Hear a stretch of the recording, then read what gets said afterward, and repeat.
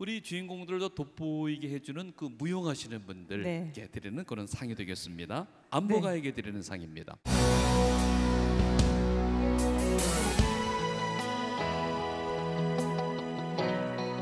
네, 무용인상과 안무가상 발표와 시상은 지난해 전년도 수상자이신 이명자님, 강윤선님께서 시상해 주시겠습니다.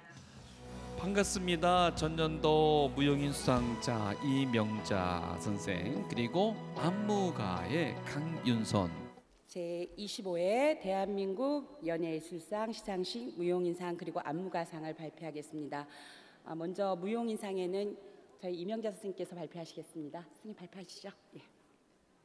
네, 양승미 상이 양, 선정이 됐습니다. 예, 양승미 선생님 축하드립니다.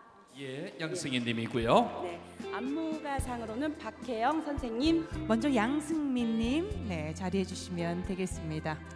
무용인 상 수상 양승미, 우리의 몸으로 우리의 감정과 그 선율의 음을 표현해내는 무용인에게 드리는 상입니다. 전년도 수상자이신 이명자님께서 수상해 주시고 계십니다. 축하드립니다. 네. 다음은 안무가상 박혜영님. 성인가요 무대를 종횡무진하면서 역동적이고 다양한 안무를 보여주는 무대 위의 꽃 중의 꽃 아나이스 무용단 단장 박혜영님이 네. 오늘 안무가상을 수상하셨습니다. 네, 수상 소감 부탁드리겠습니다. 네. 네, 안녕하세요. 무용인 양승미입니다. 앞으로 더욱더 저희 전통 예술을 발전시키는 데 노력하겠습니다. 감사합니다. 기대하겠습니다.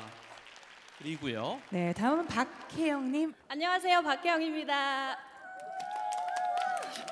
정말 어, 네 이런 멋진 무대에서 항상 춤만 추다가 이렇게 큰 상을 주셔서 너무너무 감사하고요. 이 상은 저 혼자만의 상이 아니라 어, 저희 멤버들 저와 함께한 서빈이 그리고 우리 멤버들을 에게 주신 상이라고 믿고 앞으로도 더 열심히 하겠습니다. 저희 팀 이름처럼 아 nice하게 정말 열심히 하겠습니다. 감사합니다.